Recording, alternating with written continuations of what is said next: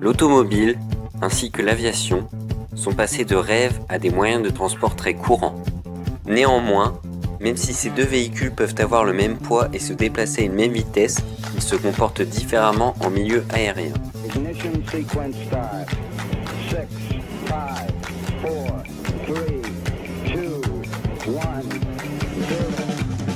Comment la science peut expliquer à travers un paradoxe qu'un objet d'une même masse et d'une même vitesse se comporte différemment en milieu aérien Découvrez-le aujourd'hui.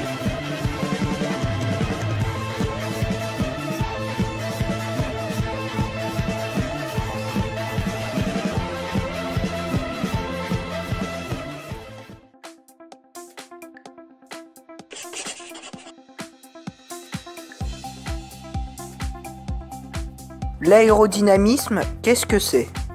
L'aérodynamisme est l'étude des forces exercées par l'air sur un objet. L'objet concerné peut être immobile, mobile. Ce phénomène inclut quatre forces. La traînée, la portance, la traction et le poids. La traînée est une force qui s'oppose au mouvement de l'objet dans l'air. Plus simplement, elle aspire l'objet dans le sens opposé à son mouvement. La portance, elle, est une force aspirant l'objet vers le haut. La traction, quant à elle, propulse l'objet dans le sens opposé à la traînée. Enfin, le poids lui tire l'avion vers le bas.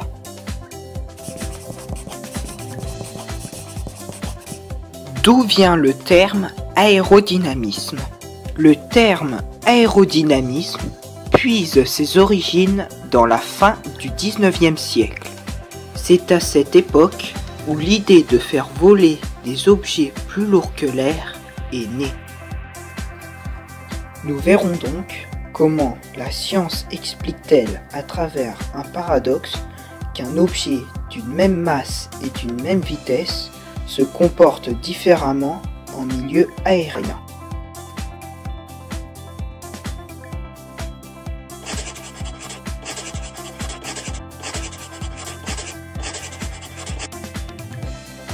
Nous allons donc, pour répondre à cette problématique, vous présenter tout d'abord comment l'aérodynamisme est étudié dans l'automobile puis dans l'aviation. Pour cela, nous vous exposerons l'histoire de l'aérodynamisme dans leurs domaines respectifs, puis nous vous expliquerons les principes aérodynamiques à travers deux cas. Pour finir, nous étudierons un contre-exemple pour expliquer les différences de comportement.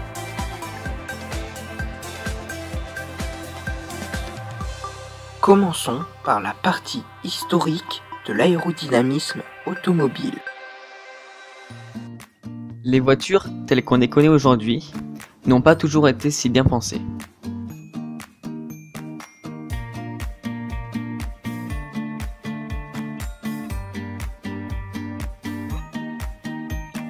En effet, en 1765, le fardier de Cugnot, du nom de son concepteur, est créé en utilisant la vapeur comme moteur.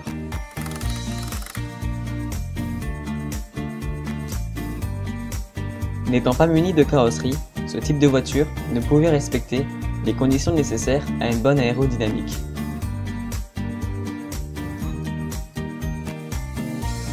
Même constat en 1908. La Ford T, considérée alors comme première voiture commercialisée en grand nombre, n'était pas aérodynamique.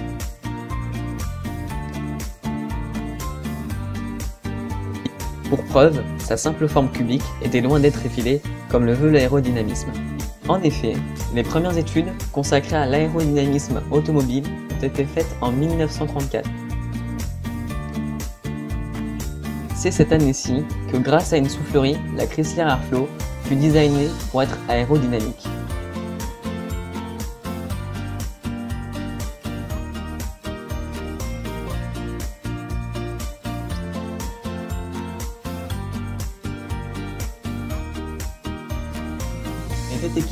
D'un moteur de 160 chevaux et atteignit alors 115 km/h.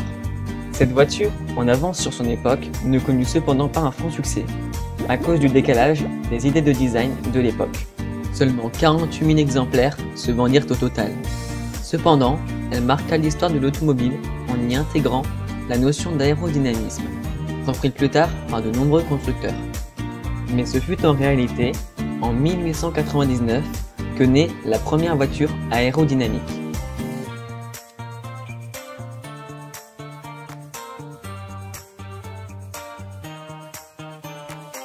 Cette voiture, non étudiée pour être aérodynamique, l'était quand même par sa forme en ogive.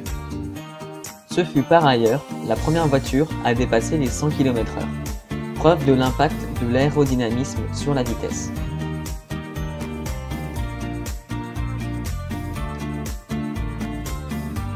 Peut voir que toutes les voitures, en passant par la 4 chevaux ou encore la Volkswagen Golf, succédant à la Chrysler Airflow, ont toutes une forme effilée.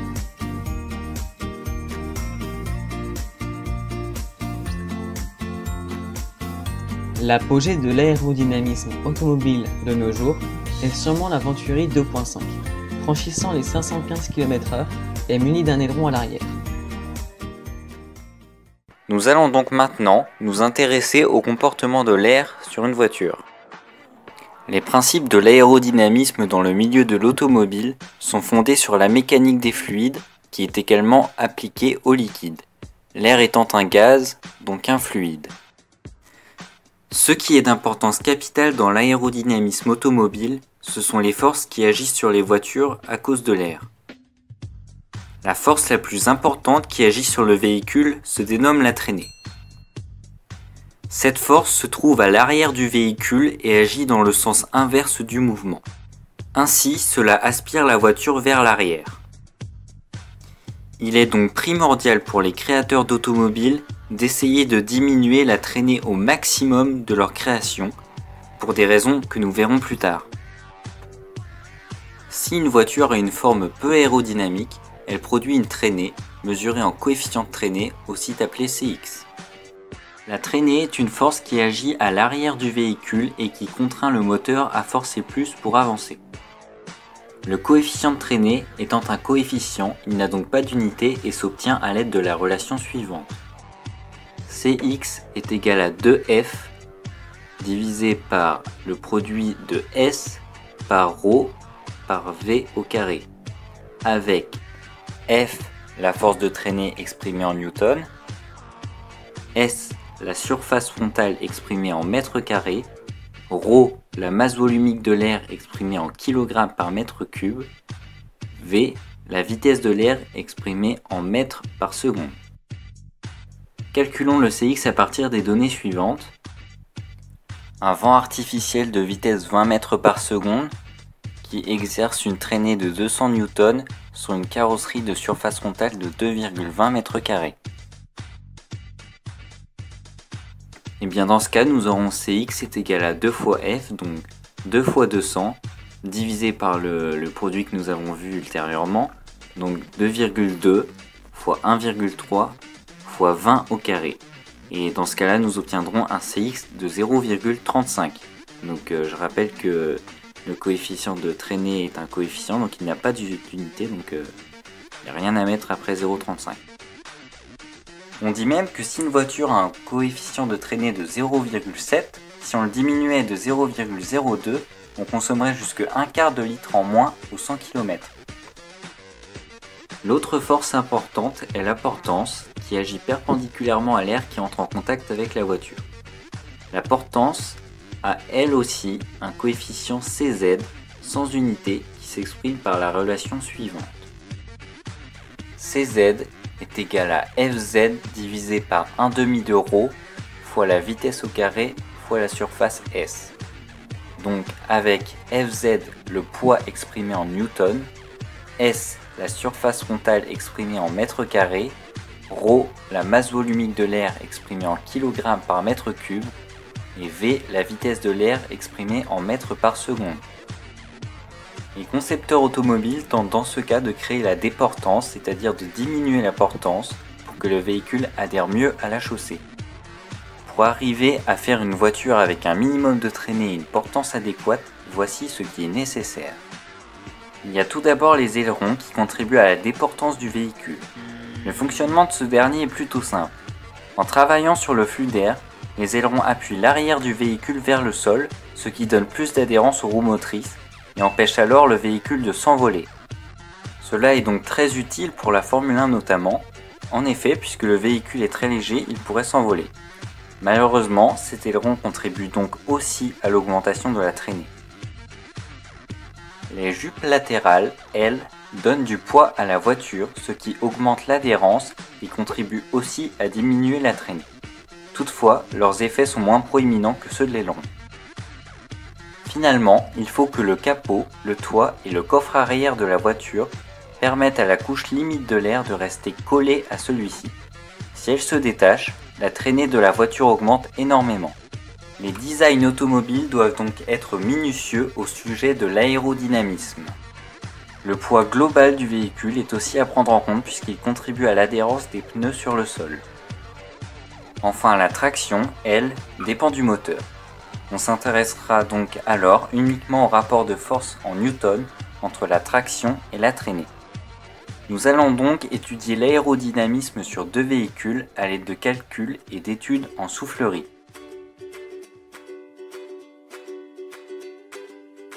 Les images que vous voyez ci-contre ont été réalisées à l'aide d'un logiciel de simulation de jeu d'air Autodesk Flow Design. Nous allons commencer par étudier le comportement de l'air sur une Clio 2. On voit ici, grâce à la légende, que l'air ne se déplace pas à vitesse constante sur la voiture. En effet, quand l'air frappe l'avant du véhicule, sa vitesse est réduite et les molécules d'air se séparent. Soit elle passe par le dessus du véhicule et, dans ce cas, elle subit une accélération entre le pare-brise et le toit. Soit elle passe par le dessus du véhicule et dans ce cas, elles seront accélérées au niveau du dessous du pare-choc avant. On remarque à l'arrière du véhicule que les fleux reviennent sur eux-mêmes. C'est une dépression, la traînée, une zone de vide qui ralentit la voiture. On peut associer ces observations avec différents calculs tels que le CX et le CZ. Le CX de la Clio s'exprime par la formule que nous avions vue tout à l'heure.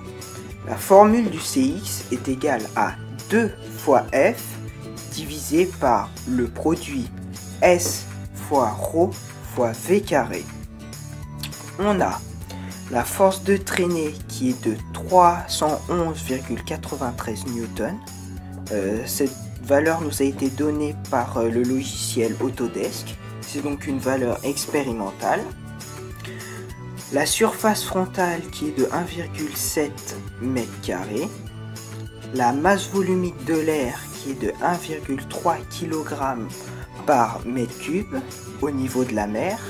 Et la vitesse qui est de 28 mètres secondes, qui est égale à 100 km h On a Cx est égal 2 fois 311,93 divisé par 1,7 fois 1,3 fois 28 au carré. Donc, le Cx de la Clio est de 0,36. La formule pour calculer CZ est de Fz divisé par 1 demi fois V carré fois S fois ρ. On a Fz est égal le poids de la voiture dans certaines conditions donc quand la voiture euh, ne décolle pas. Et on verra ça pourquoi plus tard. Rho est égal 1,3 kg par mètre cube au niveau de la mer. La surface à l'air est d'environ 6 mètres carrés et la vitesse est de 28 mètres secondes. CZ est égal 10 006,2 divisé par 1 demi fois 28 au carré fois 6,2484 fois 1,3. Donc le CZ de la Clio est de 3,15. On va maintenant étudier la même chose mais pour un véhicule différent, une Formule 1. On remarque que pour la Formule 1, l'air est freiné à deux endroits, l'avant et au niveau du compartiment du pilote. C'est à cet endroit que la couche limite de l'air se détache de la Formule 1 et forme une traînée derrière le véhicule. Remarquons aussi que l'air est accéléré en passant sous le véhicule. On va donc calculer son CX et son CZ. Grâce au même calcul de la Clio, la Formule 1 a un CX de 0,9 et un CZ de 1,67.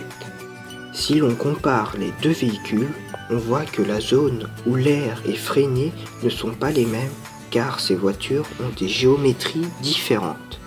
La traînée semble ainsi être plus importante pour la Formule 1 que pour la Clio. Concernant les résultats obtenus, la Clio semble avoir un CX plus faible que celui de la Formule 1, car la surface frontale et la surface de traînée en newton ne sont pas les mêmes. Concernant le CZ, la Formule 1 semble être plus favorable à l'envol que la Clio, car elle est plus profilée que la petite citadine. Nous allons maintenant étudier l'aérodynamisme au sein de l'aviation en commençant par la partie historique de l'aviation.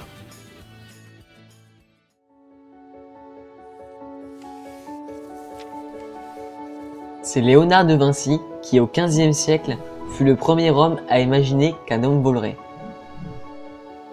En 1766, Henry Cavendish établira que l'hydrogène est dix fois plus léger que l'air de notre atmosphère. Sur ces traces, en 1783, les frères Montgolfière feront décoller trois animaux dans un ballon qui s'élèvera à 600 mètres. Par la suite, Georges Cayley identifiera les quatre forces aérodynamiques et construira le premier planeur.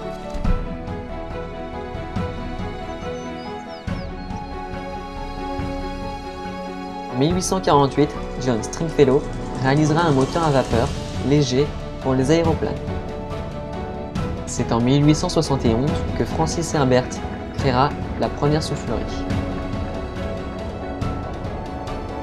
Grâce à ses travaux, en 1891, Otto Lilienthal fait voler un avion porteur d'hommes sur 80 mètres. En 1903, les frères Wright font voler le premier avion motorisé. La Première Guerre mondiale permetta une grande avancée dans l'aviation, notamment dans sa structure.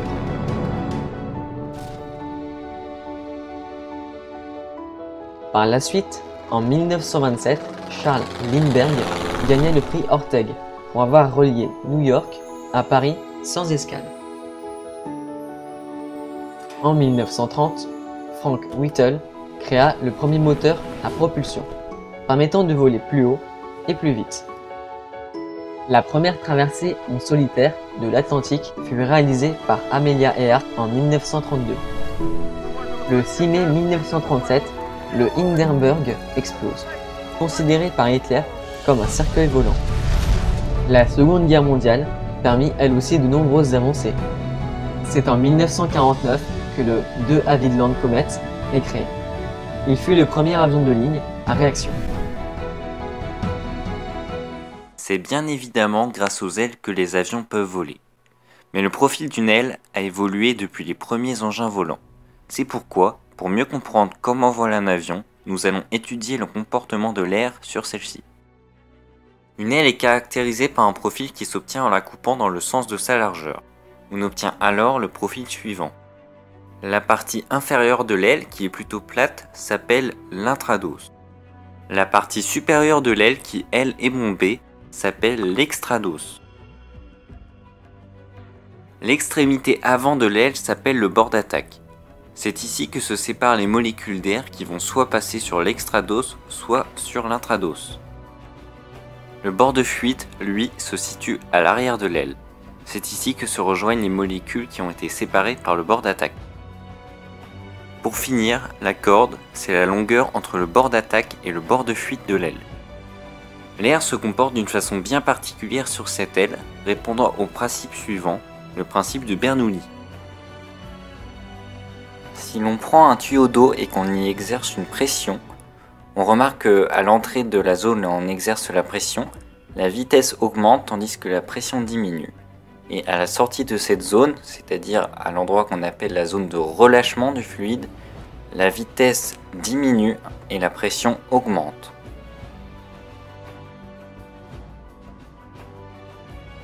Daniel Bernoulli découvrit en 1738 que lorsque la vitesse d'un fluide augmente à l'intérieur d'un conduit, la pression qu'il exerce sur ses parois diminue. Il en a donc déduit une relation qui s'exprime dans un fluide parfait et incompressible. L'énergie cinétique plus l'énergie de pesanteur plus l'énergie élastique est égale à une constante.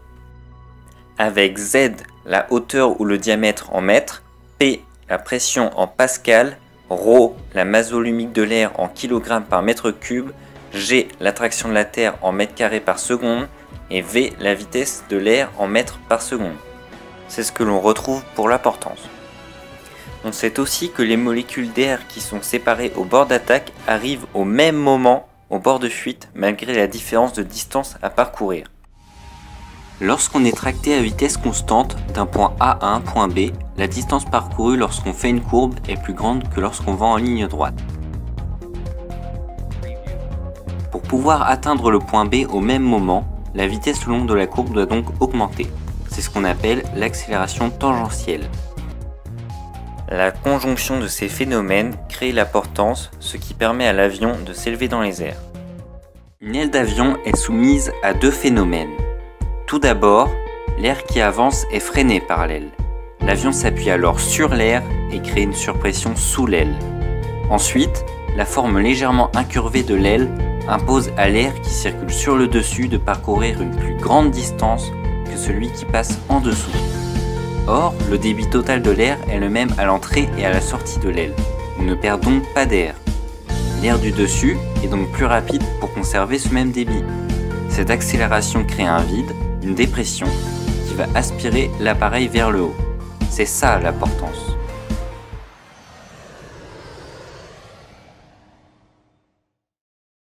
Cette portance s'exprime de la même façon que celle que nous avons vue pour la voiture, mais avec une petite nuance.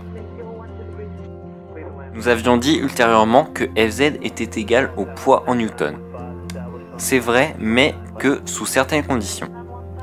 En effet, pour l'avion, Fz est égal au poids que quand l'avion vole en palier, c'est-à-dire qu'il ne gagne pas d'altitude et il n'en perd pas non plus. Cette formule n'est pas valide quand l'avion prend de l'altitude ou il en perd. C'est-à-dire que dans ce cas, Fz ne sera pas égal au poids en newton, mais à la force de portance en newton. Cette force, exprimée donc en newton, nous est donnée uniquement en soufflerie. C'est pour cela que nous ne pouvons pas la calculer. Donc quand Fz est égal au poids, c'est une somme de vecteurs nuls, c'est-à-dire l'application de la troisième loi de Newton. Malheureusement, le vol d'un avion n'est pas aussi simple. Tout du moins, il est limité par des contraintes, notamment l'angle d'attaque de l'aile. L'angle d'attaque de l'aile, c'est l'angle formé entre les ailes et l'horizon. Si cet angle est trop important par rapport à la vitesse, la portance n'est plus assurée. On dit alors que l'avion décroche. Il décroche, c'est-à-dire qu'il tombe parce que l'écoulement de l'air sur cette aile n'est plus laminaire et devient turbulent. On dit qu'un écoulement est laminaire lorsque les flux d'air sont parallèles, alors qu'un écoulement sera turbulent quand les flux d'air ne sont plus parallèles entre eux. Dans le cas du décrochage, l'écoulement sur l'aile devient turbulent. La portance n'est donc plus assurée, c'est pour cela que l'avion tombe. Les phénomènes que je viens de vous décrire peuvent être traduits par des courbes avec des caractéristiques bien précises. Mais nous nous intéresserons à celle-ci plutôt dans la partie maths que nous verrons juste après. Pour éviter ces différents problèmes et pour éviter le décrochage, l'aile est capable de modifier son profil à l'aide de différents systèmes tels que les spoilers, les volets, les becs et les winglets. Les volets et les becs augmentent la surface de l'aile et donc contribuent à l'augmentation de la portance. Les spoilers en aéronautique augmentent la surface frontale des avions et donc augmentent la traînée, de manière à ralentir l'avion. Les winglets, quant à eux, évitent les tourbillons marginaux au bout des ailes et donc diminuent la traînée.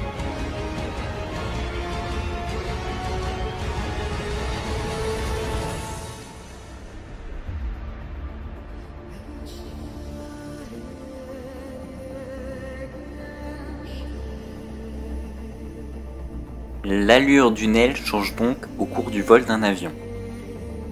La géométrie de celle-ci diffère d'ailleurs selon les avions. Par exemple, si on compare un avion de ligne à un chasseur tel qu'un Mirage 2000, le Mirage 2000, lui, possède une géométrie d'aile bien particulière, on appelle cela une aile delta. Ces ailes sont constituées de matériaux résistants à la chaleur, car lorsqu'un avion avance très vite, il subit des forces de frottement, ce qui fait que l'aile s'échauffe. Il faut donc que ce matériau soit résistant à la chaleur. Les matériaux utilisés pour les ailes d'avion sont résistants à la chaleur car, par exemple, pour un avion qui avance très vite, il subit des forces de frottement au niveau de ses ailes, ce qui chauffe les ailes.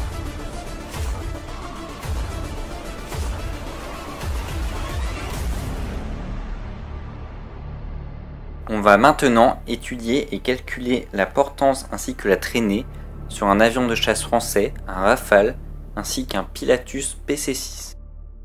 L'aérodynamisme dans l'aviation est un facteur essentiel puisqu'il permet à nos avions de voler. Nous allons de la même manière que pour la partie mat de la voiture étudier les points remarquables du comportement de l'air sur un avion. Mais voyons tout d'abord comment l'angle d'incidence est choisi. Pour cela, il faut tracer CZ, le coefficient de portance en fonction de CX, le coefficient de traînée c'est en fait Cz et Cx en fonction du paramètre commun qui est l'incidence. Cependant, on observe sur la courbe qu'un antécédent correspond à plusieurs images, ce qui est impossible. C'est une fonction polaire, c'est-à-dire qu'on fait correspondre à une longueur un angle.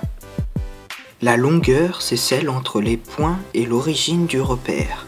L'angle est formé entre l'axe des abscisses et la longueur précédente.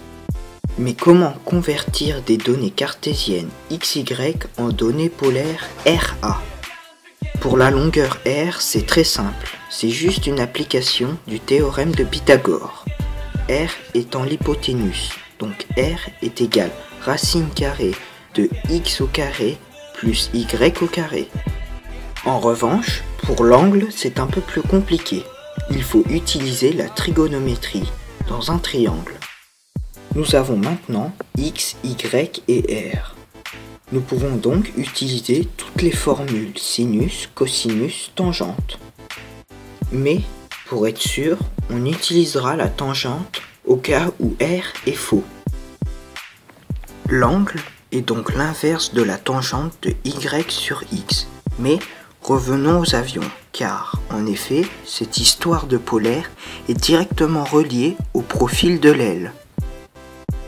Ce graphique peut même être superposé au profil, car la résultante aérodynamique, c'est-à-dire la somme du vecteur de portance et de traînée, est semblable en tout point à la distance r de la polaire. L'angle de la polaire est celui formé entre la résultante aérodynamique, ici en rouge, et l'horizon. De plus, cette polaire a des points remarquables qui sont importants à prendre en compte lors de la conception de l'avion, et plus particulièrement pour l'angle de l'aile. La tangente verticale à cette courbe, par exemple, correspond généralement à l'angle sélectionné car il minimise la traînée. Le maximum de cette fonction peut aussi correspondre à un angle intéressant car il maximise la portance. Sur ce rafale, on voit que l'air n'est pas freiné brusquement et que celui-ci reste collé à l'avion en accélérant au niveau du haut de la gouverne de direction. Il y a comme pour la voiture une traînée à l'arrière de celui-ci. En utilisant les mêmes calculs pour la voiture, le Rafale a un CX de 0,25 et un CZ de 4,14 avec la force de traînée et la force de portance en newton et qui nous a été donnée par le logiciel Autodesk et la surface frontale et la surface à l'air par le biais de recherche internet. Étudions la même chose mais pour un avion différent, un Pilatus PC-6. On voit ici que cet avion est moins profilé que le Rafale. L'air est freiné par l'hélice, ce qui crée une dépression derrière lui. L'air, sur un plan en deux dimensions, est accéléré sous l'avion et une traînée se forme derrière lui. Le Pilatus PC6 a un CX de 0,34 et un CZ de 0,65. Par conséquent, ces deux avions volent, mais le Rafale, plus profilé, a un CX plus faible et une portance au décollage lui offrant de meilleures performances que le Pilatus PC6. On va alors dans notre troisième et dernière partie comparer la Clio au Pilatus qui ont le même poids et la même vitesse, puis la Formule 1 avec le Rafale. On illustrera donc par la suite le paradoxe à travers une voiture des 24 heures du Mans qui s'est envolée, par le biais d'hypothèses. Plus le CZ est petit, plus la distance de décollage est petite. Donc, entre le Pilatus et la Clio, le Pilatus gagne, car il a un CZ proche de 0, donc il décollera plus vite que la Clio. Cela est dû à l'aérodynamisme, plus particulièrement à la surface à l'air qui est plus importante chez le Pilatus. C'est pareil entre la Formule 1 et le Rafale. Le Rafale a un CZ beaucoup plus important que la Formule 1 ce qui signifie que le Formule 1 aurait une distance de décollage beaucoup plus faible que le Rafale, car sa surface à l'air est 6 fois inférieure à celui du Rafale. Dans de rares cas, une voiture peut adopter le même comportement qu'un avion. Cela a été le cas pour la Porsche 911 GT1 de Yannick Dalmas lors des 24 heures du Mans de 1998.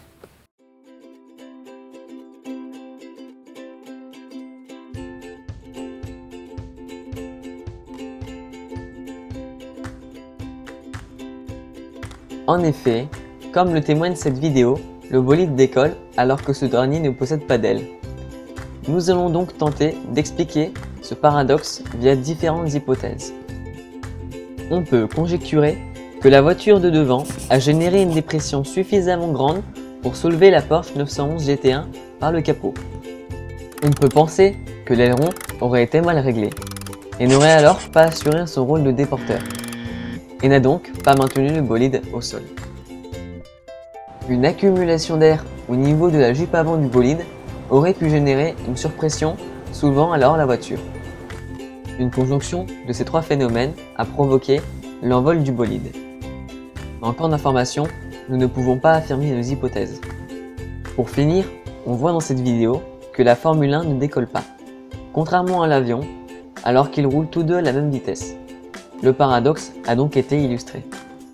Nous avons donc tout au long de ce TPE expliqué la différence de comportement entre deux moyens de transport de notre quotidien, expliqué pourquoi une Formule 1 s'est déjà envolée alors qu'elle n'a pas les ailes qui permettent à nos avions de voler. Nous pourrions, en guise d'ouverture, nous demander quel est le poids de cet aérodynamisme dans la consommation de carburant. Mais ce qui est sûr, c'est que nous pouvons néanmoins affirmer une dernière chose c'est que l'aérodynamisme n'a plus de secret, ni pour vous, ni pour nous.